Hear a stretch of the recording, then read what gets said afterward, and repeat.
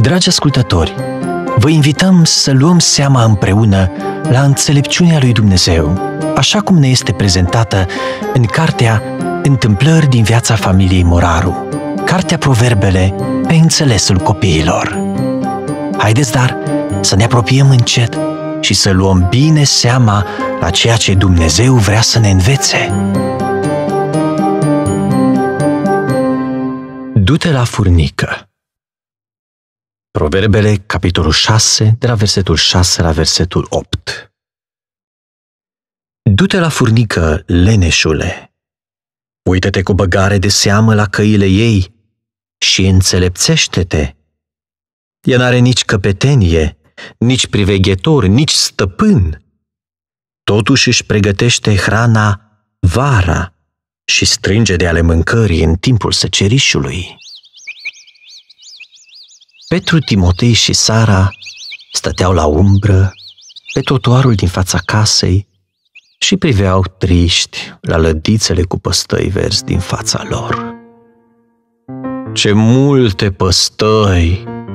Cred că sunt miliarde de păstăi în lădițele acestea, îngăimă Timotei băiețelul de cinci ani. Nu avem cum să le terminăm înainte de cină, spuse Petru morocănos. Parcă văd că vom lucra toată după amiaza și după aceea nu vom mai avea timp de joacă. Haideți odată, începeți! Le spuse Sara hotărâtă. Nu vedeți cât de multe am făcut eu deja? Fără nicio tragere de inimă, Petru luă în mână o păstaie lungă. Apucă-te de treabă, Timotei, ordonă el. Leneșule, nu ai făcut niciuna. Tu ești leneș. Răspunse Timotei încercând să vorbească pe un ton serios ca tata. Mai întâi să te văd pe tine că faci treabă și după aceea mă apuc și eu. Băieți, încetați cearta și apucați-vă de treabă, spuse Sara. Dacă nu, nu mai lucrez până nu începeți și voi. Mama auzi gălăgia și veni afară. Copii, îi atenționă ea, nu vă mai amintiți de proverbele pe care le-am citit aseară despre furnică?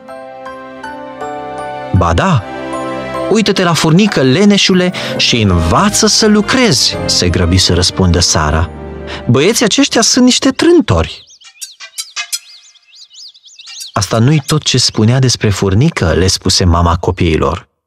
O să iau Biblia și o să vă citesc. Mama a găsit repede capitolul 6 din cartea Proverbele și citi cu voce tare. Du-te la furnică, leneșule! Uită-te cu băgare de seamă la căile ei și înțelepțește-te. Ea nu are nici căpetenie, nici priveghetor, nici stăpân. Totuși își pregătește hrana vara și strânge de ale mâncării în timpul secerișului. Vedeți voi, le explică ea, spune că furnicile nu au căpetenie sau priveghetor să le supravegheze. Fiecare furnică lucrează de zor, fără să se oprească pentru a-i spune celeilalte ce să facă. Dumnezeu le-a creat pe furnici cu instinctul să lucreze vara ca să strângă provizii pentru iarnă. El așteaptă ca și noi să facem același lucru. Păstăile verzi pe care le curățați acum vor fi hrana noastră la iarnă. Mama se aplecă și privi atent la trotuar. Priviți! exclamă ea încet. Copiii priviră spre locul indicat și observară o furnică mică ducând în gură o firimitură de pâine de două ori mai mare decât ea. Uite că merge cu spatele, observă Petru. Da, răspunse mama, firimitura este așa de grea că trebuie să meargă cu spatele ca să o tragă după ea. Totuși, nu se plânge că este o muncă prea grea.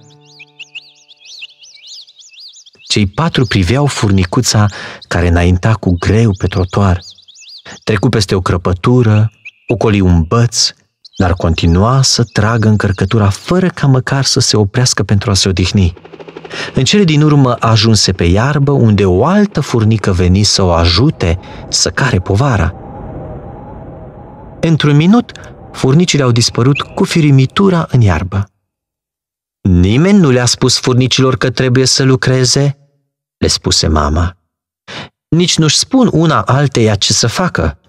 Fiecare își face treaba ei. Iar acum, spuse ea zâmbind, vreau ca toți trei să luați aminte la furnici și să fiți harnici ca ele. Fiecare din voi să-și facă treaba și să dați zor ca acea furnicuță. Mama s-a întors la treaba ei în casă, iar cei trei copii au pus în practică ceea ce au învățat de la furnici. De fapt, și-au făcut treaba atât de repede și de bine, încât au avut timp să se și joace înainte de cină.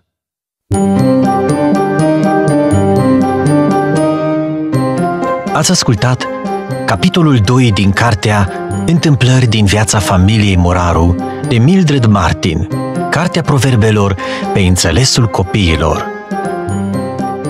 Vă așteptăm cât de curând la un nou popas în viața familiei Moraru, familia alături de care vom putea cunoaște mai mult înțelepciunea lui Dumnezeu pentru viața noastră.